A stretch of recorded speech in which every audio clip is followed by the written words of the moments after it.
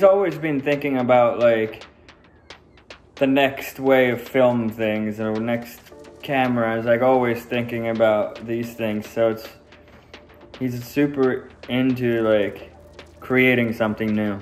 A lot of good snowboarders where I come from is a super small hill, but but I didn't know him personally at the time, and then and when he started coming back for like holidays and stuff like that for like Christmas and stuff, I got to know him a little bit more, and he was kind of like my idol from like the the great snowboarder that I actually got to meet and hang out with, you know, because all the like the professional snowboarders I was only watching in the movies and on TV. So, so he was kind of like my first hero. First time I met him, I think he was in New Zealand. He was riding DC boots. DC wasn't making boards at the time. And then uh, the following year, we filmed in North Star and a couple other places, and that's what's in the DC Mountain Lab 1.5. Just that he that dude is yeah he's on another level of skill and talent. At the time, everyone was looking for the next American rider and kind of homegrown, like who's going to be the next Mikey LeBlanc, and Torstein wasn't that. He was Torstein. We flew him over to the United States to ride at Super Park. This kid shows up. We make a point to try and meet, and he's the quietest kid going. He just doesn't really talk. And I'm like, okay, you've got the worst name in snowboarding and you don't speak. This is gonna be bad. I said that on the inside. On the outside, I was like, hey, it's great to meet you. Like, you know, let's go ride and let's go hang out. And over the next three days during Super Park, he turned heads. And every year at Super Park, there's always those riders that everyone kind of like, they just hit the radar. And Torstein, that was he was that rider that year. It just really jumped out. I was like, okay, like it's on. This kid has it. I first heard about Torstein from Sean Lake when he was working over at DC, and just told me about this amazing kid that I had to check out. And his name was Torstein.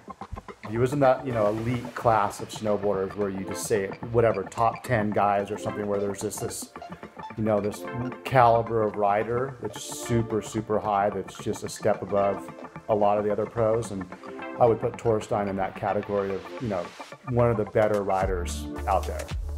I thought he was kind of social, but maybe not. I think Americans are really loud anyway, so maybe it's always a little, they think that we're more quiet, you know. and he just kind of jumped right in and he seemed very determined to make his mark and to um, kind of show everyone what kind of snowboarder he was. Working with him at DC, he was just always such a cool kid and such a hard worker. And I always enjoyed interacting with him. You know, anything from, you know, marketing projects to helping develop product. He was just a great dude to work with. I mean, me and Torstein was is almost the same age, and we've been having a really cool journey together from from almost the beginning, so it's cool to think about now.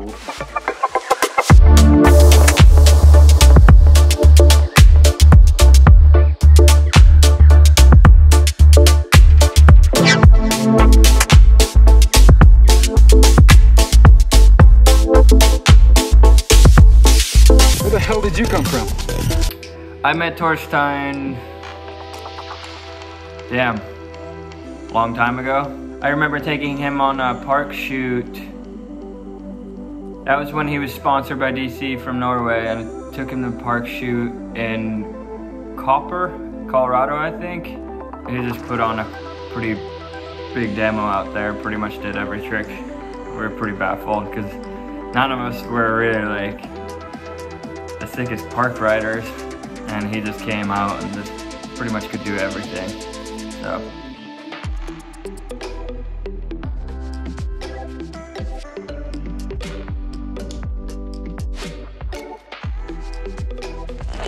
JP Solberg was my like god back then, but like to have someone that was like fairly close, that was like, all right, this is an actual person, and he's from where I'm from, and then he can actually make it in snowboarding was like, I don't know, that kind of like taught me that it was possible to make it as a like snowboarder being from where we were. So it's like, all right, this is possible, you know. Traveling with Torstein over the last five years has been pretty eye-opening, and I would also say um, that Torstein is probably one of the best, if not top five snowboarders ever on this planet. Torstein threw down the craziest tricks. Uh, I, I was sitting out of the helicopter shooting, um, having a really good time. Outside of when he's not snowboarding, he's definitely down for fun and do whatever and you know have a good time. And we, we definitely spent a few spent a few dollars at the bar, I'd say, um, and that's always fun. He definitely has two sides of, you know, when he's snowboarding, it's it's he's super focused. That's for sure it's always really cool when you're in the industry and you see you know you see young kids young talent pop up all the time and it's very interesting to see where that trajectory goes sometimes they are in the contest scene and then they're like no i'm over this and they just like start filming or they or they just don't end up really gaining a lot of traction and they just kind of fall fall off or you know they don't get the big contracts. And then it's it's always neat to see like a young kid like uh, the two that come to mind is Torstein and actually Halldor is like because they both I just remember them being so young and then they came up and then just were like and just into the stratosphere of of like just X Games win, X Games win, X Games win, Dew Tour win, X Games. It's just like, oh my gosh, these dudes are unstoppable. So, um, yeah, no, it was. It's always cool to just see the, the, you know, kids come up and just absolutely dominate since he's sort of undergone this journey, it had, I have seen him more, more, more light, yeah, more lighter and more chill. Growing up kind of a loner, uh, having a tough time at school, um, you know, being bullied, classic story. You know, everybody has one, or I mean, hopefully not everyone, but I know a lot of people do. You, you kind of, I kind of grew up with this like me against the world mentality ingrained. To me, like bro- broken, I got broken. I don't know how many bones I've broken, but that's that's just pain. You've seen like these motivational videos that say pain is only temporary.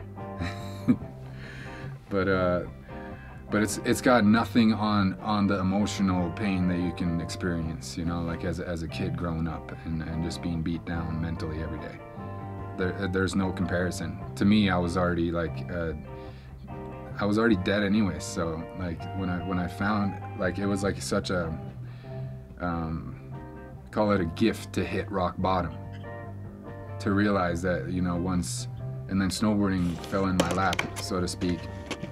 From there on out, there was nothing to lose, you know. And when I broke bones, I broke my back twice. I've broken collarbones seven times, you know, jaw, everything. Like uh, every time something like that happened, it was just like, all right, that's just more firepower.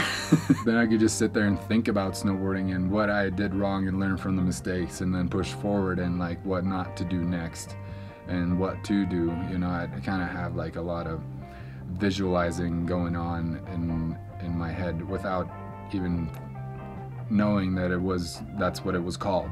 It was just my imagination was just driving towards um, all of those goals. Um, it just kind of played out, which is sweet. If I had one kind of phrase to kind of sum up Torstein, it would be no surrender. And then he started coming out to Whistler to film, and it was game over for us. He's like, fuck. It's like me and Devin just doing 540s, and here comes Torstein. It's like, oh shit, now the fucking now we gotta start chucking.